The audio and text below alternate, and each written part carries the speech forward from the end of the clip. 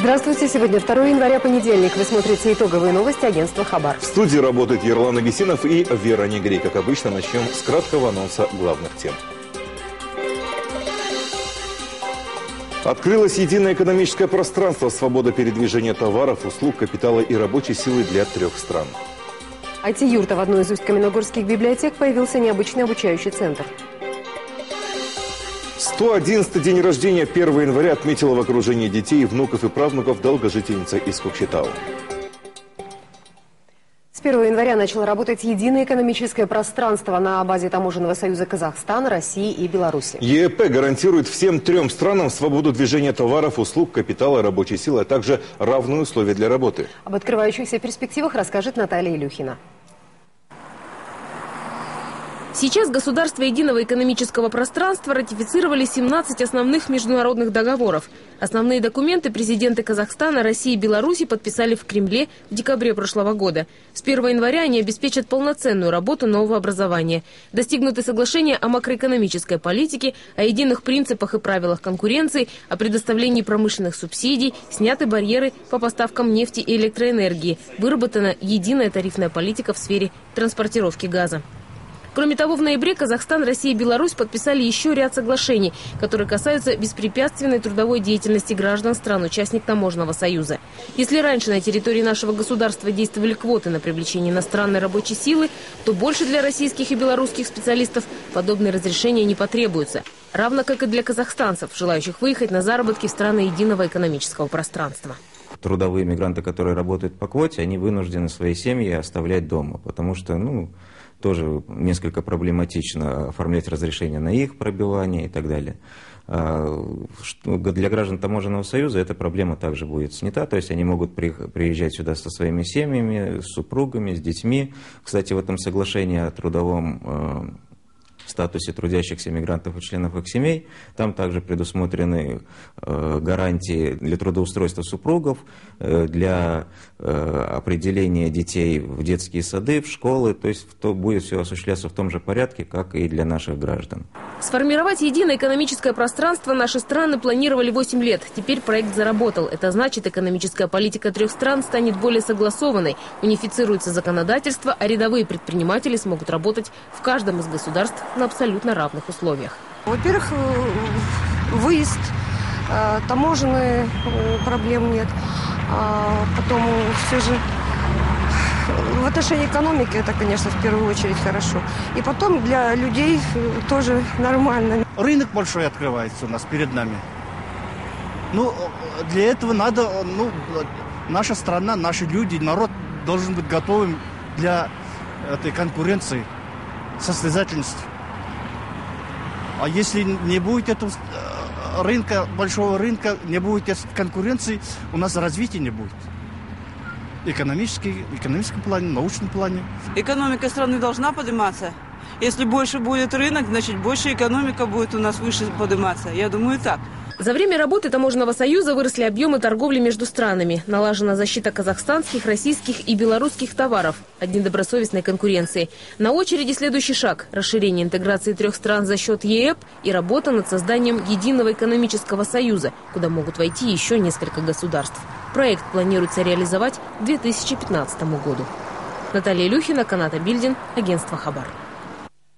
Казахстан завершает реализацию госпрограммы «Путь в Европу» и приступает к разработке нового соглашения о расширенном партнерстве с Евросоюзом. Можно констатировать, наша страна достигла успеха в двустороннем сотрудничестве и в следующем году отметит 20-летие установления дипломатических отношений со многими государствами. Наш европейский корреспондент Майра Кабиева о некоторых итогах такого сотрудничества. Доверие, открытость, взаимопонимание. Так можно говорить сегодня о казахстанско-германском сотрудничестве. К политическому, экономическому и культурно-гуманитарному взаимодействию присоединяется не менее важное направление по формуле «сырье» в обмен на инвестиции и технологии. Подписание и реализация двустороннего межправительственного соглашения о партнерстве в сырьевом, промышленном и технологической сферах будет способствовать процессу индустриализации нашей страны, ее выходу на передовые позиции в рейтингах мировой экономики.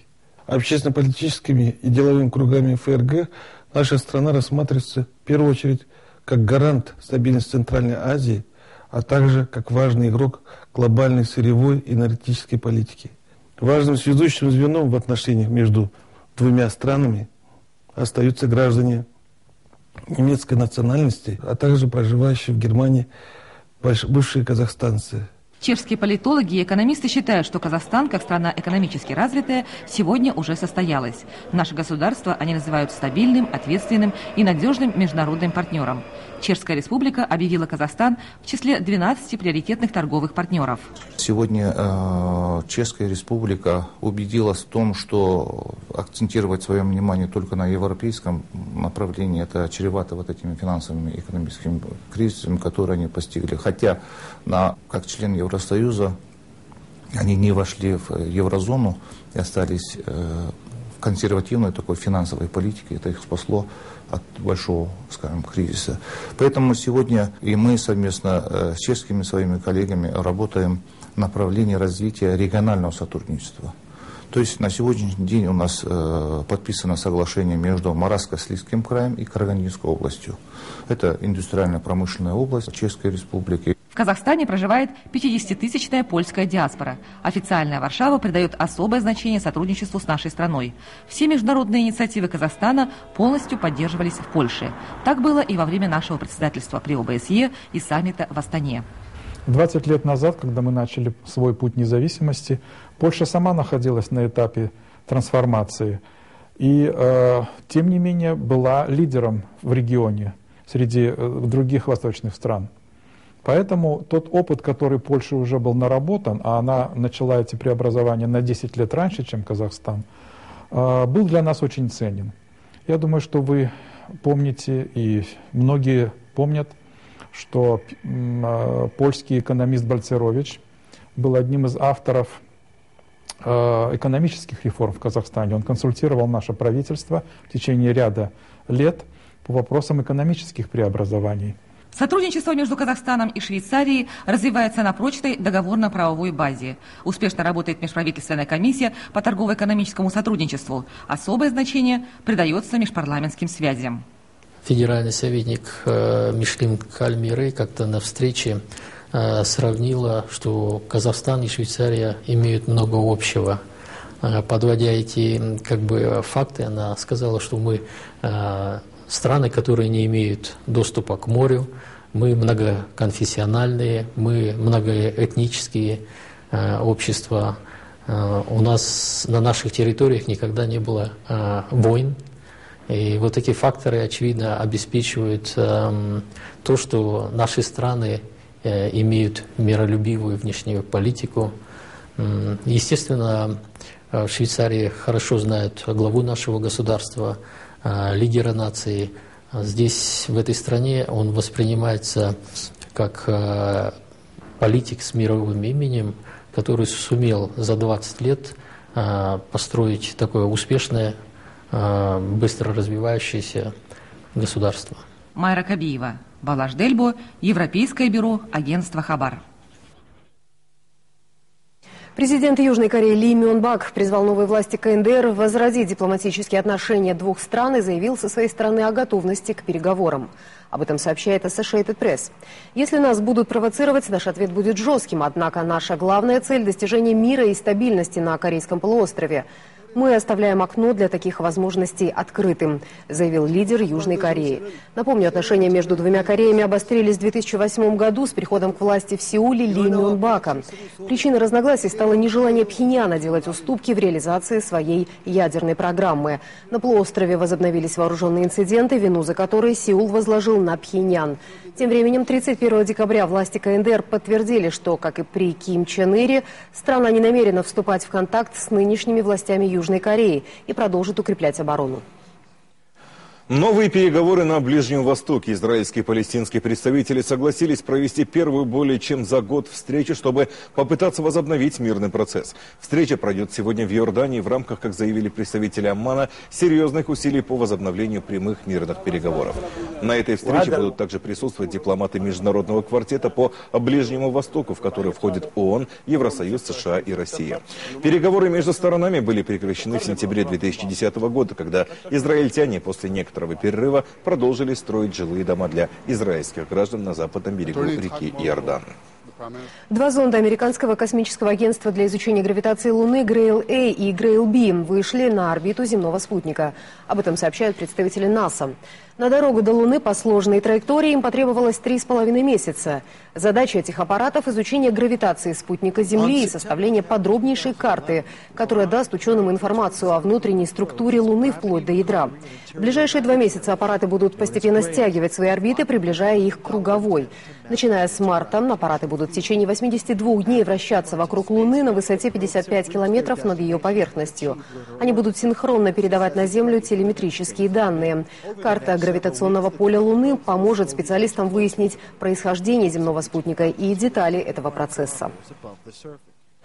Все чаще предприниматели Южного Казахстана участвуют в социальной жизни своего региона. Кроме создания рабочих мест и выпуска продукции, бизнесмены занимаются благотворительностью. В числе крупнейших спонсоров на юге строительная корпорация «Береке А», которую возглавляет Рашколь Оспаналиева.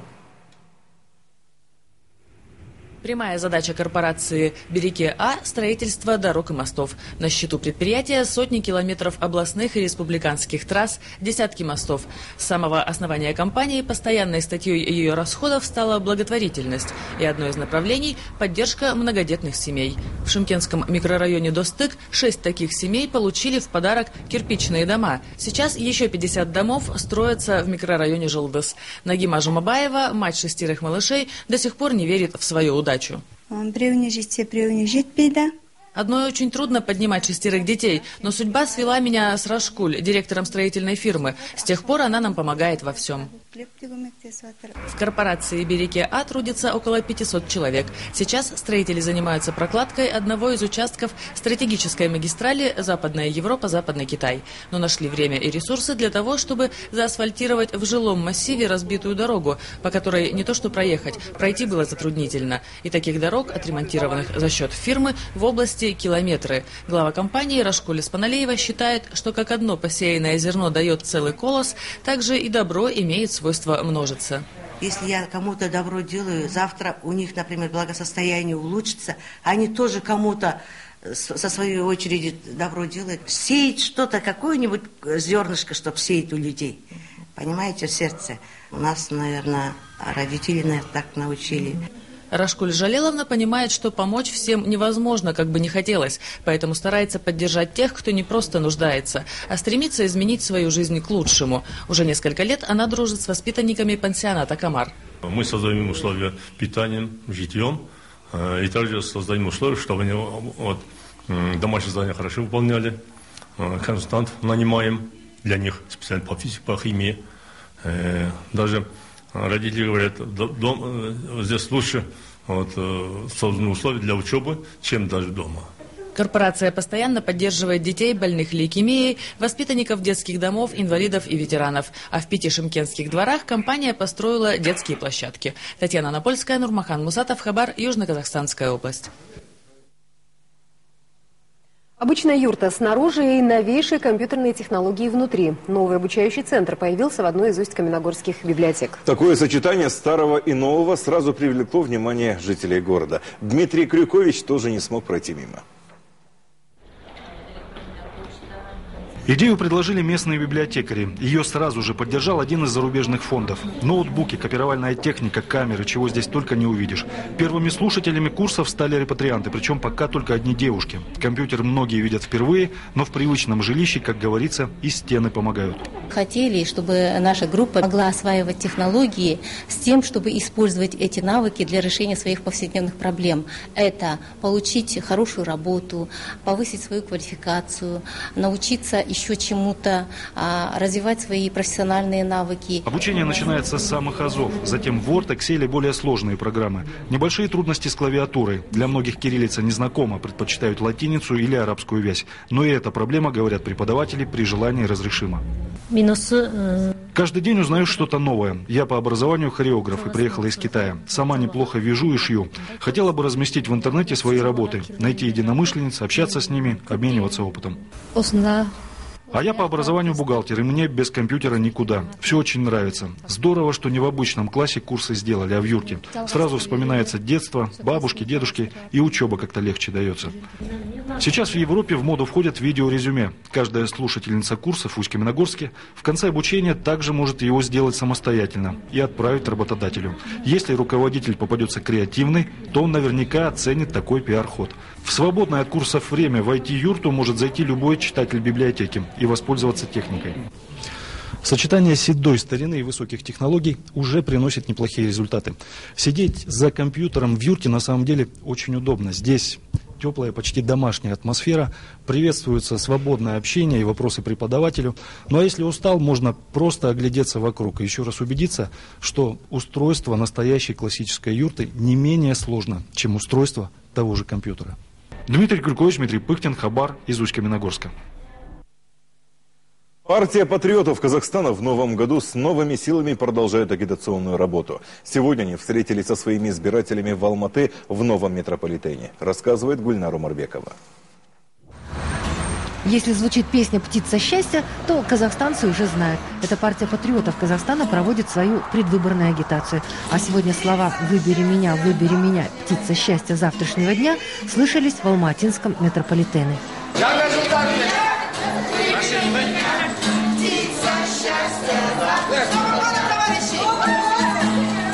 Патриоты агитировали голосовать за них пассажиров метро. Кстати, сегодня их было много. Большинство семей с детьми хотели просто проехаться из конца в конец и познакомиться с работой долгожданного транспорта. Поэтому в репертуаре патриотов появилась еще одна песня.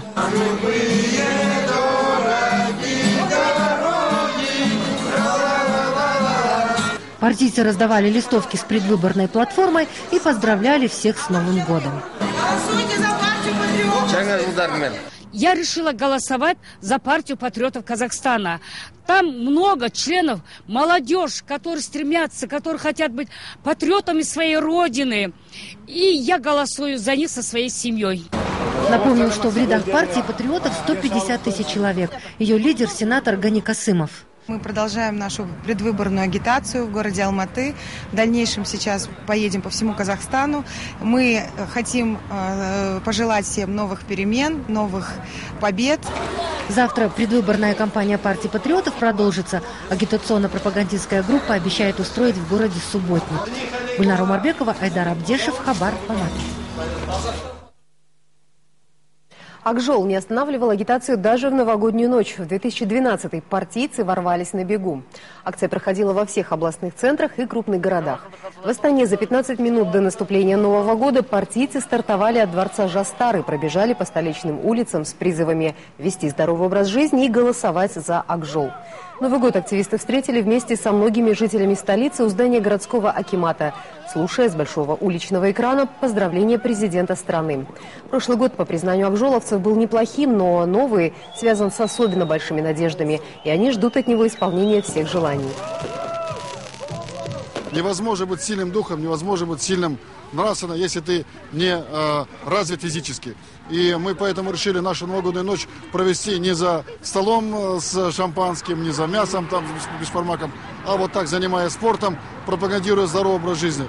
Потому что э, только нация, которая работает над собой, только нация, которая находится в тонусе, находится в форме, может ставить перед собой высокие э, задачи. Девиз этой акции э, «Жана Ажилга, Ажол Менен» э, в Новый год по светлому пути. Поздравляю всех казахстанцев. Желаю всем такой же силы, уверенности и открытого пути, какой мы строим для себя. Ахжол, Казахстан. В первый день Нового года долгожительница из Кокшетау Казна Исмаилова отметила свой 111-й день рождения. С такой впечатляющей датой ее поздравили дети, внуки, правнуки и представители Акимата. И, конечно же, вручили подарки. Казинапе живет в поселке Красный Яр, близ Кокшетау. Только недавно, благодаря архиву, стало известно, что родилась она в 1901 году в ауле Койтас Акмолинской области. В годы репрессий отца признали кулаком. Семье пришлось переехать в Омскую область. Лишь в 70-е годы они вернулись в родные места. Поздравляю с Новым годом. Пусть он принесет здоровье, радость всем и нашему президенту. Пусть будет мир на нашей земле. В годы Великой Отечественной войны Казина Апай потеряла мужа. С фронта он не вернулся. Когда уходил, их единственному сыну, Каиргильды, был годик. Замуж она больше так и не вышла. Одна вырастила сына. Сейчас у нее шесть внуков и одиннадцать правнуков. Я пришла невесткой в эту семью в 1964 году. Тогда мне отец наказал, чтобы я заботилась о свекрови. До сих пор я не забыла его слова, и вот уже 47 лет нахожусь рядом с ней и называю ее мамой. Интересно, что свой первый паспорт долгожительница получила год назад. 109 лет она прожила без удостоверяющего личность документа. У нее не было даже свидетельства о рождении. Как такое могло произойти? Другая история. Документ ей оформили, и за ним в управление юстиции бабушка пришла сама. Дома Казина Апай не пропускает ни одного намаза, шьет, а иногда, играет на добре, что-то тихо напевает. Гульнара Умарбекова, Мироид Палмаханова, Евгений Шинкаренко. Хабар, Кокштау. В наступившем году Алматинскому зоопарку исполняется 75 лет. Недавно из разных уголков мира в него привезли новоселов. Амурский тигр и носорог, гепарды и рыси, черные лебеди, целых 17 особей. В новогодние каникулы те из них, кого сняли с карантина, готовы познакомиться с посетителями. Сейчас здесь живет более пяти тысяч обитателей, представляющих 450 видов. Хищники и млекопитающие, копытные приматы, экзотические птицы и рыбы. За таким количеством питомцев ухаживает 200 человек. Коллекция зоологического парка постоянно обновляется. Перед Новым годом сюда из Перми приехал амурский тигр. Его назвали Урман. Ему полтора года, он весит 250 килограммов, спокойный и уравновешенный, потому что знает, ежедневно ему гарантировано 12 килограммов мяса. Его также ждут три красавицы-самки. Урману предстоит ответственная задача стать основателем новой линии. В 2012 году нам исполняется 75 лет, и поэтому с первого дня своего открытия Алматинский зоопарк был, как говорится, э, э, вторым номером. Мы первых животных получали именно с московского зоопарка, но сейчас по видовому разнообразию мы примерно равны. Потому что сам природный ландшафт Алматинского зоопарка, его климатическая зона позволяет здесь животным практически в условиях, приближенных к природным, воспроизводить потомство, э, комфортно жить и процветать. Из Красноярского заповедника в Алматы привезли пару молодых рысей. Имен еще не придумали. По традиции животных называют после того, как они адаптируются и окрепнут. Но уже сейчас все кисточки на ушках по своей фактурности конкурируют с леопардами и являются настоящим украшением алматинского зоопарка. Из того же Красноярска этапировали парочку благородных оленей. Им около двух лет потомство дают с трех, а пока боятся и стесняются. Но самым застенчивым новоселом оказался носорог. Он родом из ЮАР. По словам сотрудников, пуглив, агрессив агрессивен и неоднозначен, что при его весе в 3,5 тонны может стать серьезной проблемой, причем не его, потому и не попал в камеру. Животное, прибывшее издалека, как всегда, испытывает большой стресс при транспортировке, отлове и доставке. И у нас есть э, в обязательном порядке э, карантинный режим месячный, в течение которого животное приходит в норму, оно привыкает к новому рациону, воде, запахам и э, вольеру белый снег и черные птицы. Было интересно посмотреть, как они защищают свою территорию. Все три лебедя бесстрашно двинулись на камеры. Их историческая родина Австралия. В Казахстан попали из Сибири. А вот еще один новосел, черный какаду из Франции. Если с ним заниматься, может разговаривать. Но пока эти любознательные своенравные птицы пробивают клювом кирпич, дерево, металл, все то, из чего сделана клетка. В ушедшем году в зоопарке родились более 40 особей. Белый як очень ласковый, требует внимания, пристает к маме, папе и сотрудникам. Ему долго придумывали имя, люди предлагали Тайсон, Чингисхан, но назвали Снежком. Здесь же родился лама. С такими ресницами малыш просто обречен стать всеобщим любимцем.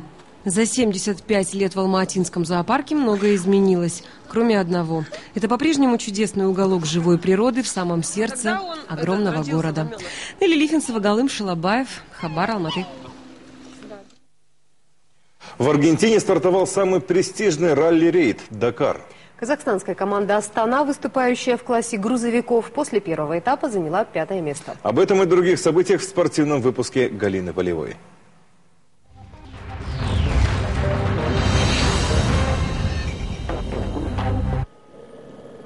Начало престижной гонки Дакар удался казахстанскому экипажу. Стартовав с 32-й позиции пилот Астаны Артур Ардавичус пришел к финишу пятым.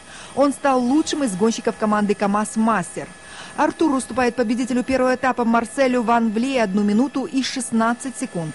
В классе внедорожников лучшее время показал российский гонщик Леонид Новицкий. Среди мотоциклистов победу одержал Франциско Лопес Кантарда. К сожалению, на старте гонки произошла трагедия. На первом этапе ралли-рейда погиб мотогонщик Хорке Мартинес Буэра.